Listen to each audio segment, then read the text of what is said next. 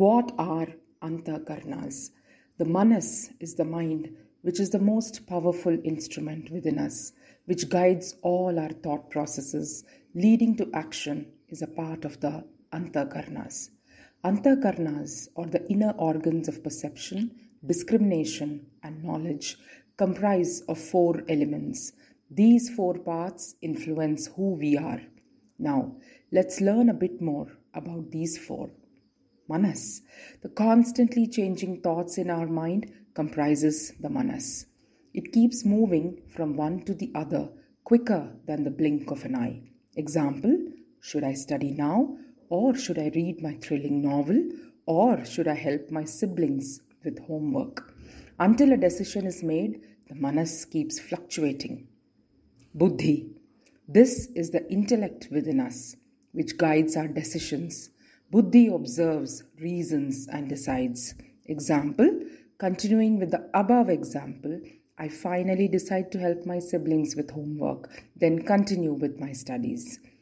Ahankara means ego, but let us not confuse it with our egoistic, proud self.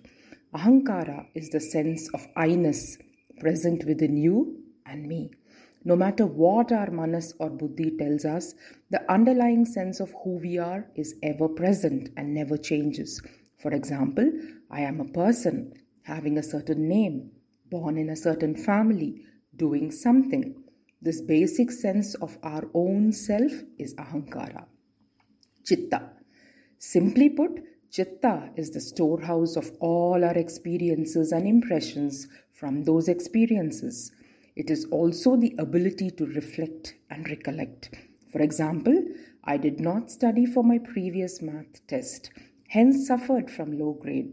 So this time I will not repeat my mistake. Thus, Antahkarnas guide us throughout our lifetime, and these are influenced by the various gunas of which we learnt about in the Vidyamrutham video number 5. Dear listeners, we hope you understood the information presented in the video and enjoyed the presentation. Do share this video with your friends and family so that they may also learn.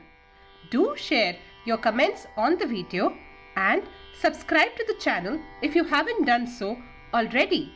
Dhanyavadaha.